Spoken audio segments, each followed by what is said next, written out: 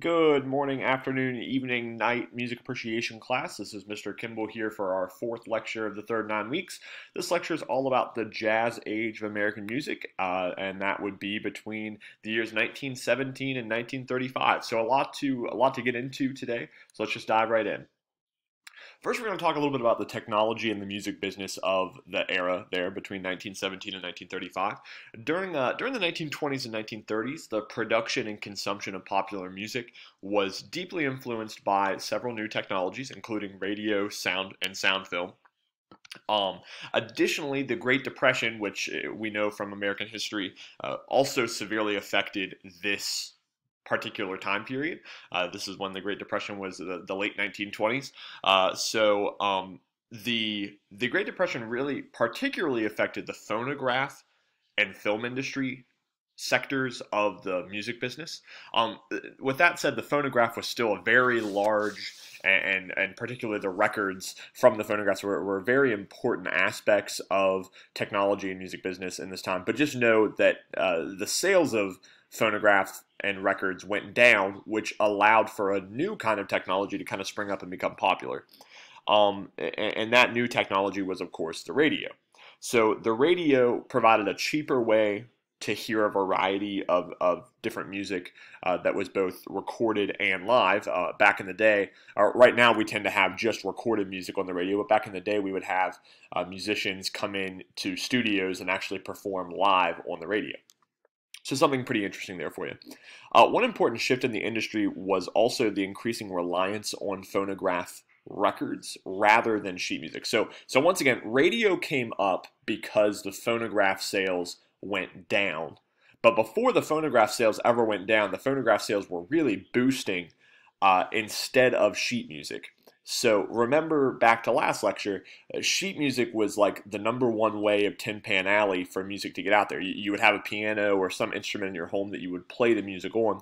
So for you to be able to listen to specific music, you kind of have to know how to play it. Phonograph records put the focus on recorded music rather than sheet music as the main means of, of promoting songs and, and the artist. So, a uh, pretty important switch there. By the early 1920s, nearly 100 million records were being pressed each year in the United States, and records were no longer just a byproduct of the manufacturing of, of phonographs. They were they were a specific company. Record companies were uh, were very important. And then, uh, for the first time, for the first time ever in the mid 1920s, uh, there was a, a really important threshold that was crossed when record sales crossed over the uh, the sheet music sales for the for the first time. So we were selling in the mid 1920s. We started selling more phonograph records than we ever did uh, sheet music, uh, or than we did sheet music for that particular year. So so that switch uh, was a really important mark in, in time. In 1925, electric recording, which used a brand new device that I'm sure you guys have heard of called the microphone, replaced the older system of acoustic recording and performers had to back in acoustic recording performers had to project into like this huge megaphone type thing uh, this sort of allowed for a little bit more nuance a little bit you can see the microphone right there uh, on the screen it's a little bit more sophisticated and um, it allowed it allowed engineers and and yeah, just basically sound engineers. It allowed sound engineers to like isolate and, and really amplify particular sounds one of those particular sounds, one of those particular, I guess, instruments, if you will, being the, the human voice. So, as a result of being able to like really manipulate the human voice and being able to hear like a very intimate, uh, like one person singing into it rather than just capturing whatever's happening in the background. It, you kind of isolate on on particular things happening. So as a result of this new recording technique, a new style of singing emerged, and, and this is a style of singing that would have a really significant impact on American popular music, and we call this style of singing crooning. So it was developed by this new generation of performers, and we uh, we had crooning sparked by what we called crooners. And you guys probably have heard of, of a few crooners, uh, like Bing Crosby and, uh, you know, Frank Sinatra would be considered a crooner. I'll be a much later one, but, but, uh, Bing Crosby was pretty big in the 19, 1930s and, and after. So, anyways, uh, you get the idea. Crooning became really popular because of the invention of this microphone. Additionally, uh, as I was telling you before, radio pretty directly competed with phonograph record companies, especially during the Great Depression, because people couldn't afford to buy a phonograph and records to listen to. So instead, they would just listen to the radio. This started uh, radio networks in the early 1900s, and actually in 1906, the first radio program in the United States was made, and it consisted of, or was recorded, and it consisted of two musical selections and a poem and it was broadcast from uh, a really experimental station in Massachusetts. And then after World War One, there was this relaxing of military restrictions on broadcasting. Uh, so before World War One, or leading up into World War One, we really weren't allowed to be on the, the airwaves a whole bunch because you know of the war, and we didn't want we didn't want information being dispersed uh, that that could have part could have possibly hurt the war effort. So uh, after World War One ended, there was a relaxation on the broadcasting streams, and um, it led to a growth of the radio industry. In 1920, the first three commercial radio stations in the United States were established, and those radio stations are KDKA in Pittsburgh, WWJ in Detroit, and WJZ in Newark, New Jersey.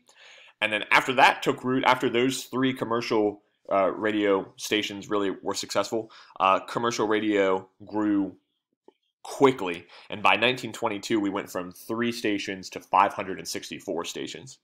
So then in 1922, the idea of network radio, which is like countrywide, uh, countrywide radio, was kind of born. And the way this happened was it, somebody recounted. Basically, there was a a football game. It was it was Chicago um, it was a Chicago football game that somebody was relaying all of the information for all the way from Chicago to New York over the telephone line. So basically, somebody was giving the play-by-play of a football game over the phone. Uh, seems kind of silly, but that's what they were doing. So people were like, "Oh my gosh, uh, you know, I would actually listen to this if it was if it was being broadcasted across the nation. I could listen to my hometown Chicago Bears play, even though I'm living in New York. So it, pretty pretty interesting." In 1926, the first nationwide commercial radio network called the National Broadcasting Company. You guys might know that more familiarly. I don't think that's a word. Uh, you guys know that better by uh, by NBC. That's what NBC stands for, the National Broadcasting Company, uh, and that was established, you know, in 1926. So an important time.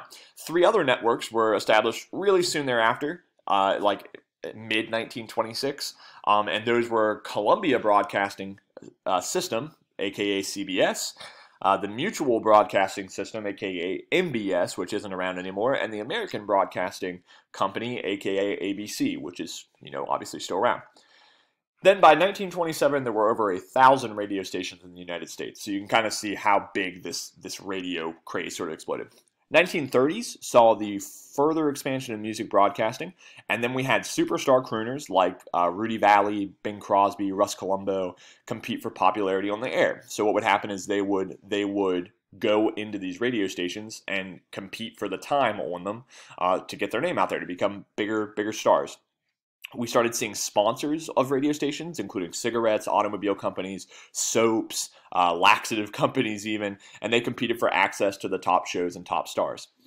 Uh, the establishments of programs such as Make Believe Ballroom, which came out in 1932, propelled this uh, this new career called disc jockeys, aka DJs. Um, and disc jockeys were simply radio announcers who played records and provided entertaining banter, like just talk, and actually impersonated some some band leaders back in the day. Uh, and it was a really important position. They would kind of say, you know, this is our. They would announce new songs. They would do stuff like that. Not quite what we think of disc jockeys today, so don't don't get that confused. But you know, it, it was the predecessor for sure. Um, says radio had a tremendous impact on the musical experience and social habits of Americans. And during the Great Depression, as we've been talking, people who could not afford to buy a phonograph and discs were sometimes able to purchase a radio receiver, and uh, then they could enjoy, you know, a bunch of different programs. Then, uh, moving away from the radio a little bit, the first film to exploit sound successfully was called The Jazz Singer uh, and it was made in 1927. And it was based on a successful Broadway play starring Al Jolson. Al Jolson was a vaudeville uh, superstar, and we talked about vaudeville in the last lecture if you're not sure what that was. Uh, the film tells a story of a Jewish cantor's son who becomes a success singing jazz songs in blackface. So, our, our first um, sound film uh, starred a, a blackface performer, a white performer that would paint himself, uh, his face black. Um, and it, it grossed, and, and you got to realize in 1927 this was a huge deal. It grossed the unprecedented sum of three million dollars in 1927. I'm not really even sure what the inflation rate on that is, but that's a lot of money in 1927. Uh, also note, we called it a sound film, but the jazz singer, most of that film was actually silent. Uh, sound was kind of introduced at critical points, like when Jolson was singing songs on stage, um, or I mean, it, there there wasn't really much conversation going on. It was just for singing, basically. Uh, the projectionist of the film was provided with a set of single-sided th 33 and a third RPM discs that contained the entire soundtrack. And what what he would have to do, the the projectionist, he would have to mark certain points on the disc with colored crayons, and this would allow him to synchronize the film image with the music. This is really important because the idea of marking discs with, with crayons or, or just some sort of some sort of identifiable mark was later used by old school hip hop DJs when they were using turntables to kind of scratch or, or create beats uh, that were really key to like early rap performances in the, the 80s and early 90s. So, um, after that, we had the first all talking, all singing all dancing film musical, which was called The Broadway Melody, and that was released by MGM in 1929. And uh, later on, we had licensing and copyright agencies kind of, uh, once they saw the industry was there, licensing and copyright in- industries uh, popped up. Uh, ASCAP, which is which is called the American Society of Composers, was formed in 1914, and it, it, attempted to basically force business establishments that featured live music to pay fees for the public use of music. So this is this is important, and, and, we'll get away from this slide here. I know we've been on this one for a while. So the idea of paying royalties for when somebody's music was performed is incredibly new at, at, at that time. Basically, what would happen is a, a, publishing company would pay. Let's say I wrote this great song. They would pay me hundred dollars for that song. That song would no longer be mine, and they could do whatever they wanted to with it. Um, they could sell it for a million dollars uh, over the course of time if they wanted to, if it was a really good song, or you know they might they might not sell it for anything if it was a really bad song. Um, it, it was just really dependent on on what they could do to market it. Now, what they're saying is not only do you pay me for my song, so you get the publishing rights of it, but now you're also going to pay me every time my song is publicly performed. I'm going to get a royalty fee each time my song is used. Royalty fees are, are how we function in the music business today, like like Spotify and uh, and uh, you know YouTube Music and and Apple Music and all of the stuff. Our our musicians get paid a fee for each listen we have. Now it's it's really small, but over the course of I mean if you get a million listens a day, even if you're only getting paid three or four cents for each listen, you're still gonna you're still gonna rack up that money. So that's it for technology in the music business. We're now gonna move on to dances. Uh, around the beginning of the 20th century, so early 1900s, several fundamental changes took place in American social dancing that paralleled shifts in popular music. Most important was the influence of African American dance. So remember the ragtime craze was really big in the early 1900s while African American dance influences were also popular. So that's how it kind of paralleled what was going on in music. Big African American influences in music, big African American influences in dance. Um, it, indirectly, this kind of dance influence began with the cakewalk, which I think we talked about in the first lecture. It was it was uh, the the uh, dance that that the slaves were actually kind of making fun of the masters with, and then the masters thought that that was just a that that was just uh, them trying to be uh, them trying to imitate them. Basically, they didn't know they were being made fun of, but then it kind of turned into like a, a an own style of dance called the cakewalk.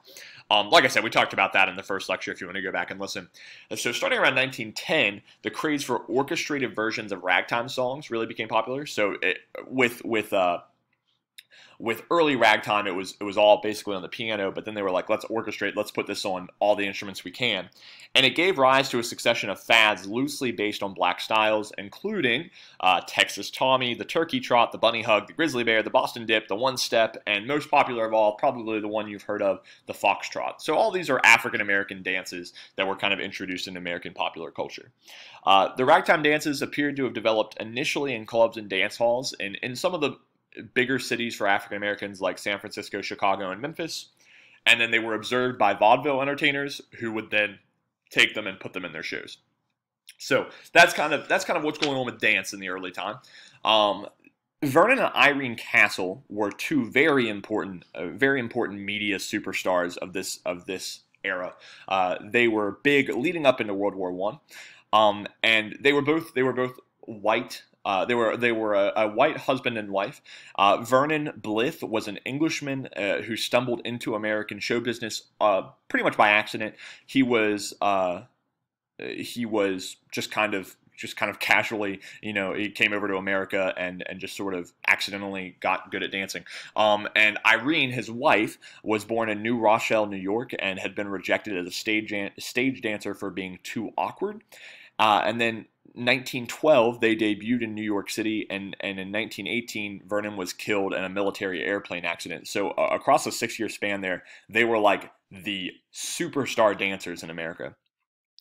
Uh, the Castles really did more than anyone to change the course of social dancing in America. They attracted millions, millions of middle class Americans into ballroom classes and expanded the stylistic range of popular dances. Uh, they established this image of like charisma and romance and and really started this this fad of dance teams. Um, and basically what they would do so so I've told you a lot about them. What these two would do is they would put out like tutorials. They they would they would hold sessions to teach people how to dance. They would take these really complicated choreographies and and break them into sequences and really simple steps that could be learned by non-professionals and middle-class Americans really easily. So it, it let everybody sort of get good at dancing. The other important thing about uh, about the Castles was their decision to hire a brilliant young African American musician named James Reese Europe. Uh, James Reese Europe was born into a middle-class uh, family in, in Mobile, Alabama. In 1889, the family moved to Washington, D.C., and Jim Europe took up violin and music theory lessons with the assistant director of the U.S. Marine Corps Band. Um, James Reese Europe is the guy you see there on the left. Uh, he moved to New York City at the age of 22 and found that there really weren't a lot of opportunities for black musicians. He developed a reputation as an, uh, a pretty good pianist and conductor. He played ragtime in in cabarets and acted as musical director for some all black vaudeville shows. But in 19 in 1910, uh, Europe founded the Clef Club, which was this like social club, booking agency, and trade union for African American musicians in New York City. So the Clef Club is, is something that he founded. In 1913, Irene and Vernon Castle attended a private society party in New York City, and they danced to Europe's Clef Club Orchestra. So, so he kind of put together this orchestra out of the Clef Club, and uh, Irene and Vernon Castle were there to dance. And then uh, Irene and Vernon were somewhat popular at this point as dancers. The Castles were, were pretty much limited, though, to dancing with whatever music the orchestra hired for our particular occasion. The Castles didn't like this because they didn't think that the white orchestras did as good of a job with things like syncopation, and, and they didn't do as good of a job performing ragtime music. Well, that's understandable because ragtime is an African American is an African American genre, so white musicians performing ragtime probably weren't as good at it. Um, so they heard this Clef Club orchestra, uh, Vernon and Irene Castle, and, and knew immediately that this band would be perfect for a, a job with them uh, as they toured around teaching people how to dance. So from 1913 until 1918, Jim Europe composed music for all the castle's new dance steps and provided musicians for most of their live engagements where they were teaching people to dance. So his career as a popular dance musician, Jim Reese Europe's career as a popular, popular dance musician skyrocketed, and he continued to devote a great deal of energy to establishing a, a black symphony orchestra that would specialize in performing the works of African American composers. In 1916, however, uh, Europe enlisted in the 15th Infantry Regiment of the New York National Guard, which was an all black outfit, and he was asked by his commander to form a military band. Since the best musicians in New York were reluctant to leave their regular jobs, Europe had to travel to Puerto Rico to recruit players. Uh, forbidden by U.S. Army regulations from fighting alongside white soldiers, though, Europe's outfit uh, was transferred to the French Army. So his all-black outfit was not allowed to fight alongside of the U.S. Army um, in World War One. So he was transferred to the French Army, and uh, the French Army had already been accepting African troops, so it was fine. Europe's company then became popularly known. You probably have heard of them before. Popularly known as the Hell Fighters, and uh, they were really effective in combat. There are several, several um, movies and stories out about them. And they were the first Allied regiment to cross the Rhine River at the end of the war. The Hellfighters band played several concerts in Paris and created the sensation and establishing the long-standing French enthusiasm for jazz. So they kind of introduced jazz to, to France and made it popular over there. So that's James Reese Europe. Moving on to, to jazz now. Jazz is sometimes called uh, uh, hot music, and it emerged in New Orleans in, in 1900. New Orleans was the was a good position for jazz to emerge because it was this gateway between the United States and the Caribbean. It's completely uh, stratified population included culturally distinct white, so so kind of like high class white uh, white citizens. Also Creole, which were like which were like French Louisianians, um, and, and, then uh, black communities from the Caribbean or from the South. Uh, strong residues of colonial French culture encouraged this formation of a hybrid musical culture unlike anything Americans ever seen. Uh, so this jazz is really just a mixture of black musicians who lived uptown surrounded by African American musical genres and blues and Creole musicians who lived downtown who were likely to receive some some form of European style musical training. So this this combination of French tradition, Creole, and and African American tradition uh, combines and it creates creates jazz. Um, so yeah, so now we're going to talk about uh, a few important people here. Uh, the first recording to bear the name jazz was made in New York in 1917, and it featured a white group of New Orleans called the Original Dixieland Jazz Band. Uh, and the leader of this group was a cornet player, Nick LaRocca, and he started playing jazz music uh, with other white musicians as a teenager. The original Dixieland Jazz Band had already played for two years in Chicago before coming to New York to take up a steady engagement uh, in a restaurant there.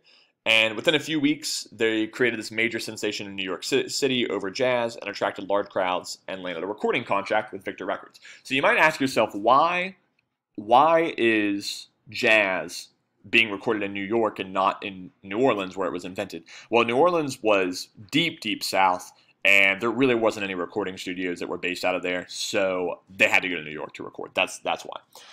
So there's a little bit of controversy. As I said, the original Dixieland Jazz Band were all white performers. They were from New Orleans, so they were from the home of jazz, but they were all white performers. There's a little bit of controversy about the relationship of the music played by the original Dixieland Jazz Band and, and it being considered the first recording of jazz and other African American musicians in New Orleans. So the controversy is is like these white performers are taking a a essentially a, a black genre and and calling it their own. Like it totally theirs. They're the first ever to do it. Uh, it was really farther fueled by musicians from the Dixieland Jazz Band uh, that helped commercialize this form of of popular music that was pioneered to African American musicians, pioneered by African American musicians. So African American musicians kind of pioneered this thing, and then the Dixieland Jazz Band sort of said, "This, yeah, this is ours." So not very cool. Uh, Nick LaRocca, the leader, didn't help matters with his false claim that white musicians in New Orleans had invented jazz. Um, he sort of said that, that African Americans didn't have really anything to do with inventing jazz, which we know is not true. Um, and the way we know that's not true is because we can listen to different recordings and, and tell of the two totally different styles that, that are that are there. So what we're going to do now is listen to a little bit of Nick LaRocca and the original Dixieland Jazz Band, and then we're going to listen to a little bit of King Joe Oliver, who was pretty much making music at, at, right around the same time. And I want you to listen to the difference in syncopation, just the different way they feel the beat and, and the energy behind it. Listen for the style. All right, so first we'll listen to Nick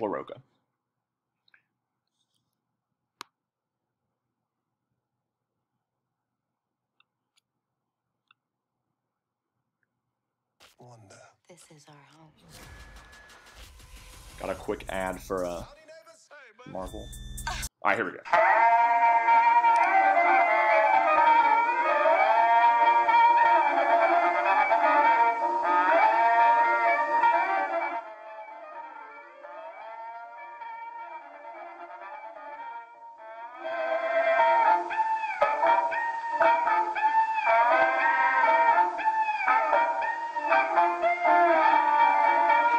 Called Tiger Rag. And like I said, this is by the original Dixieland Jazz Band, all white performers.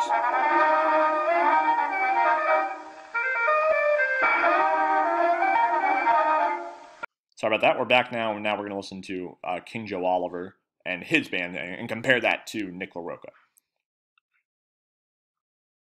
So King Joe Oliver was kind of a, a father of jazz. He, he was really a big influence. This is Dipper Mouth Blues. Thank you.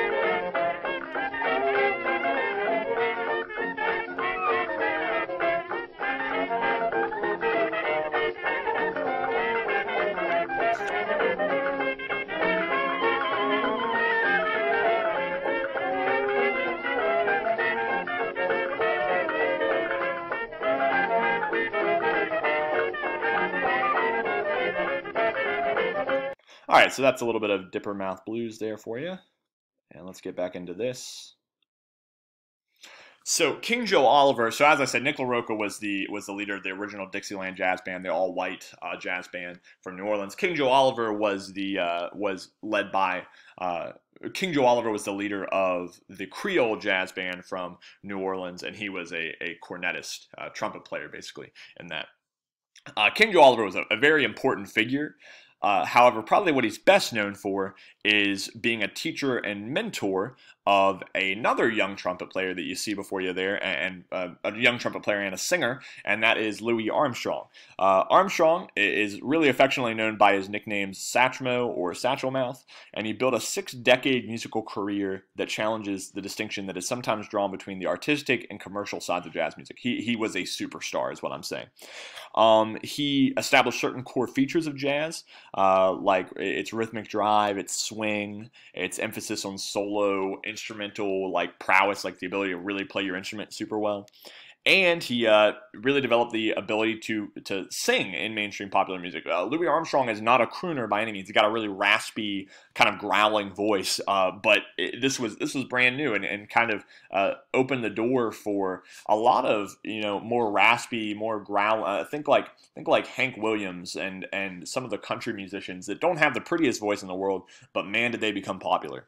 So um, that's Louis Armstrong. Louis Armstrong uh, was uh, uh, released probably his most important, his most. Uh, we all know Louis Armstrong probably by like uh, "What a Wonderful World." That's that's kind of the one that's sort of maintained the longest. But uh, probably his most inf- influential record of the late 1920s, so like this time period, was the instrumental tune "West End Blues," which we're going to listen to here in just a second. Uh, in West End Blues, he does have a little bit of scat singing, and I'm going to try to find that in the in the recording, because um, this this sort of shapes what he does for for the rest of his career. Writing's not that easy, but got a quick ad. This sentence is grammatically. Let's see what we got.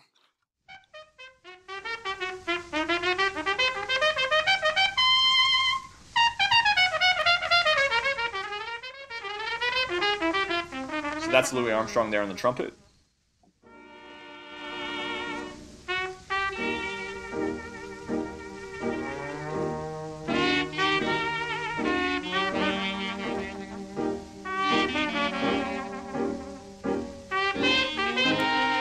See here if we can find a little bit of uh, scatting.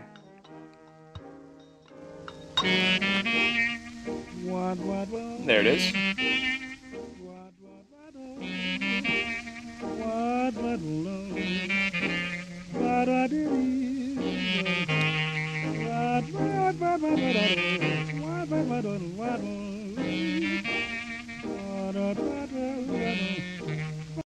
So that's Louis Armstrong.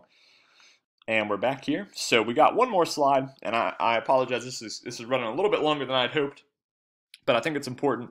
Uh, so, really quick, just to recap here on Louis Armstrong, um, known for his scat singing, known for his trumpet playing. Scat singing, it, just in case you couldn't tell, it, it's this like nonsense syllable. So you're not really saying any words, uh, but you're just sort of improvising and uh, important in jazz. It became a really popular technique. Um, I, I, think of like Louis Prima. Uh, you guys would know him. He's King Louis from the Jungle Book. So if you think of like uh, I Want to Be Like You from the Jungle Book, that has a lot of scat singing in it. Um, so yeah, that's scat. Uh, last but not least, we're going to hit dance music in the jazz age. Uh, the jazz age really was this mixture of high culture and popular culture, and, and it created this subculture uh, that we kind of hear of today between the uh, upper middle class white Americans, and, we would call them jazz babies or flappers. Um, and we would call the we would call the uh, guys sheiks, and and they would uh, that that was just kind of I mean we've we've heard of flappers before, um, so that's sort of the the subculture that was forming around jazz uh, around you know the late 1920s. Um, so this blend of high culture and and and popular culture come together. Um, we have this new Broadway musical called Shuffle Along that was that was created in 1921 by Sissle and uh, Noble Sissle and Eubie Blake, and it was the first all-black Broadway musical to, to be released, the first successful all-black Broadway musical to be released included a lot of jazz influenced songs because that was an African American genre. And it was one of the first shows to portray romantic relationships between black characters without resorting to like degrading stereotypes. And it, even included a, a, pretty serious love duet called Love Will Find a Way. Um, so it, it, it was pretty important, the first all black Broadway musical. Um, it, it kind of went against all of these these black musical stereotypes, although there were still you know some there. Um, it, it's definitely a step above the jazz singer, which was a, a white performer singing in blackface. So so um, definitely went above that. Now one one black musical stereotype that it did that it did kind of address something kind of kind of cool to know here. Um, black musicians in the time were not considered by white culture to uh, know how to read music. It, it, wasn't like white people didn't think that that black people knew how to read music. That was that was not something they were able to comprehend. Um, but they could. They could easily read music, and they did so very well. But because of that stereotype, black musicians actually had to perform all of their music. Uh, they had to memorize it because white musicians or white white audience members wouldn't wouldn't think it was right if black musicians were looking at music because that it just would kind of blow their minds in a sense. So uh, black musicians had to memorize their music and not use sheet music when they were performing, like in the orchestra for Shuffle Along, uh, because of that stereotype. So something kind of interesting there. Uh, last but not least, we're going to talk a little bit about dance bands. Uh, dance bands were kind of these these pop up groups that were jumping into the social dance craze. I, I talked to you all about the African American. Um, African American dance steps and dance influences a few slides back. So dance bands pop up, so that way you can go to a, you can go to a club and dance to some music. Um, one of the successful dance band leaders was Paul Whiteman, um, and I've got his uh, birth year and death year there, and he was the leader of the Ambassador Orchestra. Um, I'm not going to play a lot by him. Actually, I'm not going to play anything by him, but you should know that the uh, the 1924 debut of George Gershwin's Rhapsody in Blue, which is a really really awesome piece of music um, that you should listen to, Rhapsody in Blue, um, featured Whiteman's band. So that's kind of that's kind of a big claim to fame for him. Um, Paul Whiteman's band also it, it kind of like got these like little sub bands. There there were dozens of official Paul Whiteman bands that played around the country um, and sort of toured. So it was like this this like uh, Paul Whiteman kind of turned into like this leader of of tens of, of hundreds of bands that, that went around the country and sort of represented him. Another important dance band leader was Edward Kennedy Duke Ellington, more just more commonly known by his, his name Duke Ellington. Um, he was a, an African American dance band leader of the late 1920s and early 1930s. Uh, he's widely regarded as one of the most important American musicians in the 20th century. He was born in Washington, D.C. He was the son of a Navy blueprint maker and a teacher. Uh, both of them were amateur pianists. You can see Duke Ellington there. He's, you probably can't see the piano, but he is playing the piano in that picture. He came from a middle class background and received some formal musical training at a young age. Um, and he started playing some parlor songs and and opera. And at the age of 14, he started to hang around bars and, and pool halls where ragtime pianists would play. So he was pretty influenced by ragtime. And then he formed a dance band while in high school. Uh, so kind of formed a little a little garage band there, if you will, for the early 1920s. And then from 1917 through 1919, uh, Ellington launched a musical career that painted commercial signs by day and played piano with his band at night. So Duke Ellington becomes the leader of the the Ellingtonians uh, and and the the um wa- sorry the Washingtonians, not the Ellingtonians, the Washingtonians, which were which were a really really popular band in in that time period, and he he's kind of like known for his ability to arrange music. Undoubtedly, if you, if you listen closely, you'll hear a lot of references to Duke Ellington in music all over. So let's listen to just a little bit here of East St. Louis Toodle-Oo, um, and then we'll be out of here.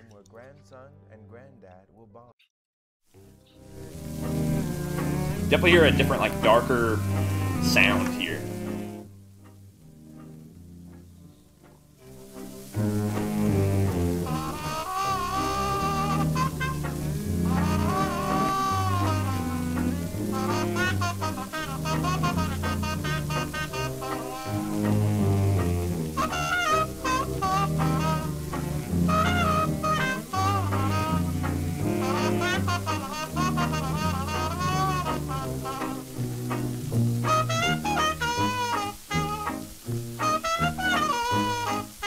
Right, guys. Um, so that is that is Duke Ellington.